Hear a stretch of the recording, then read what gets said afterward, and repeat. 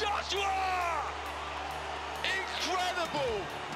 Yo, what's good? Can you fight fans? Welcome back to the channel, your number one spot for all things boxing. Today, we're breaking down one of the biggest fights of the year, Anthony Joshua versus Daniel Dubois. This was a banger, and it did not disappoint. If you missed the fight or just want to relive the action, you're in the right place. So, stay tuned, because we're diving into all the key moments, and believe me, things got real in that ring. Alright, so this fight was huge. We had Anthony Joshua, who's been a dominant force in the heavyweight division for years. You know AJ, two-time unified heavyweight champ, Olympic gold medalist, and one of the biggest names in the sport. But let's be real. After those back-to-back losses to Alexander Usyk, a lot of people were questioning if Joshua still had it. Did he still have that killer instinct, or had he lost a step? First one, not good at all.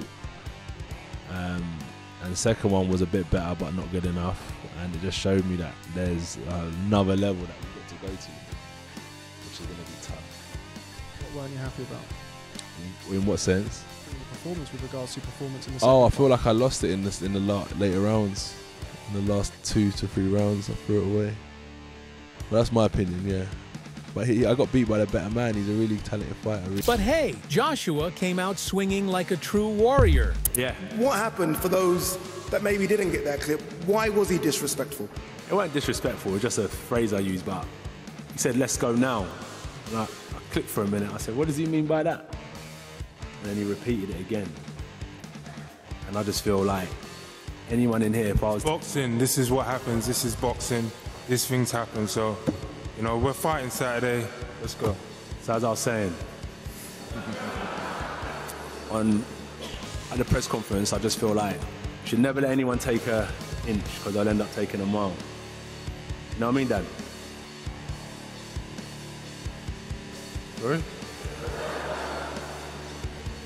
That's it. He said, never let's take an inch.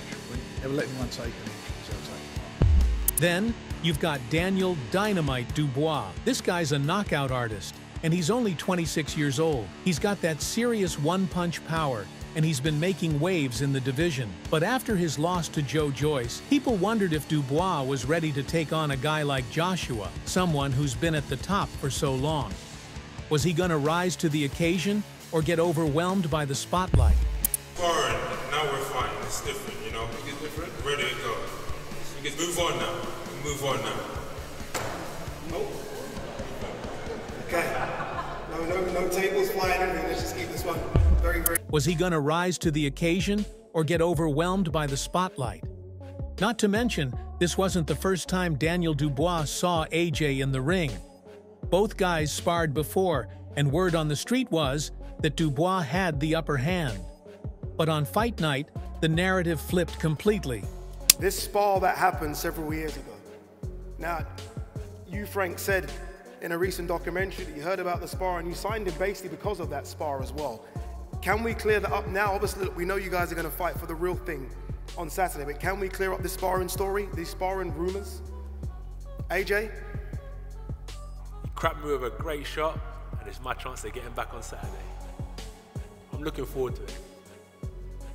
There you go. Dan we Wright. sparred hundreds of rounds, didn't it? You, you cracked him, Daniel. So you, you know you can hurt. It's sparring. Now we're fighting. It's different, you know. Think it's different? Ready to go.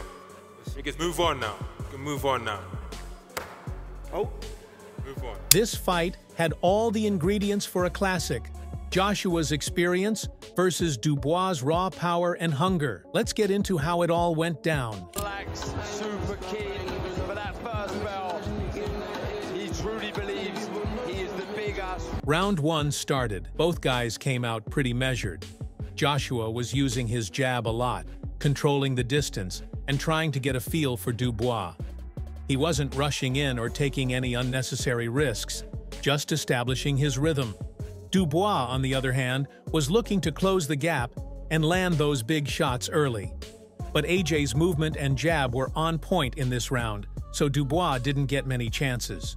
Now rounds 2 till 4 were a game changer. As we moved into these rounds, Joshua started to step up his game. His jab was landing consistently, and he was throwing some nice combinations to the body and head.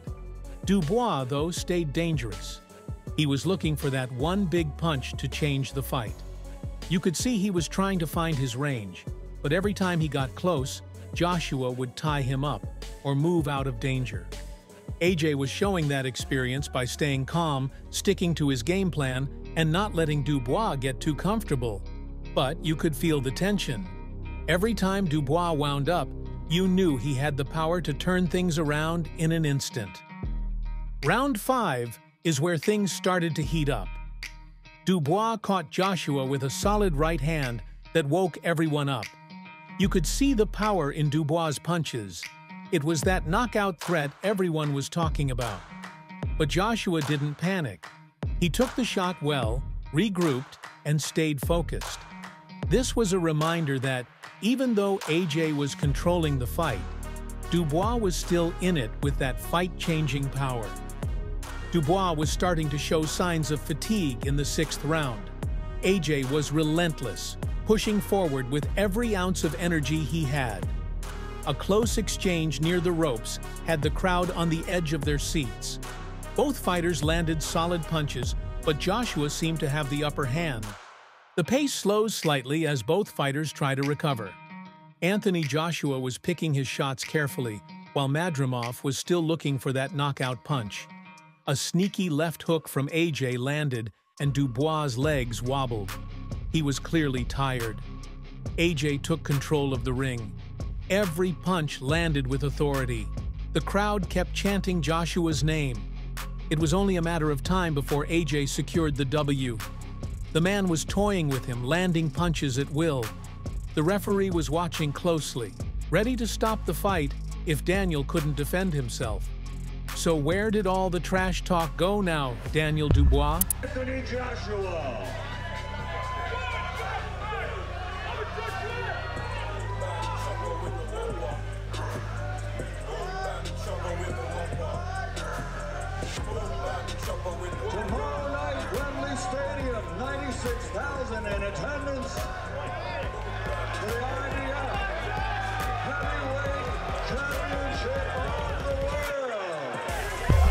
The bell rang to start the 10th round, but it was over.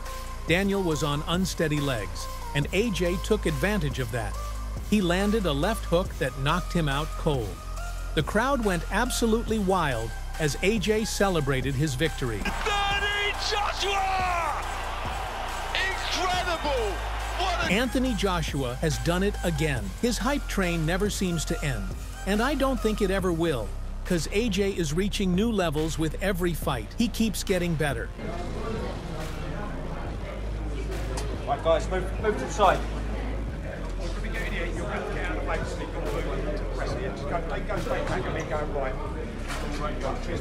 Right, step back, step back. Step right back. Hey, Jake, follow us up this way. He's coming, he's coming, he's coming. Hey, this way, son. Joe? Yeah, yeah. Got it.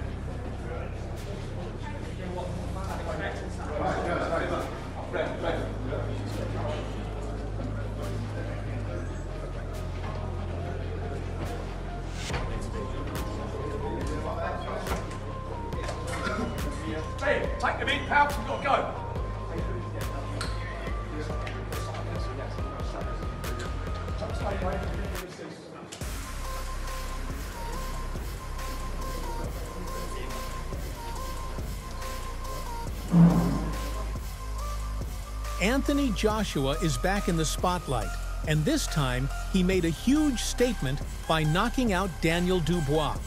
But AJ ain't stopping there. Right after dropping Dubois, Joshua took the mic and called out none other than Alexander Usyk for a rematch. He's ready to settle the score and take back his belts after Usyk got the best of him last time. Joshua's been grinding hard, and now he's coming for that top spot again. Do you think AJ's got what it takes to finish Usyk this time? Or is Usyk gonna repeat history? Joshua, got to commit himself to that right hand.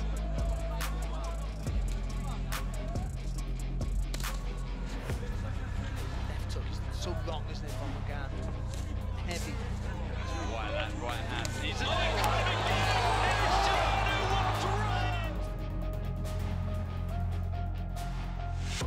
So that's all from today's video. If you enjoyed it, remember to leave a like, subscribe, and ring that bell icon so you never miss our upcoming videos. And don't forget to share your thoughts in the comments section. Stay tuned, and we will catch you in the next video.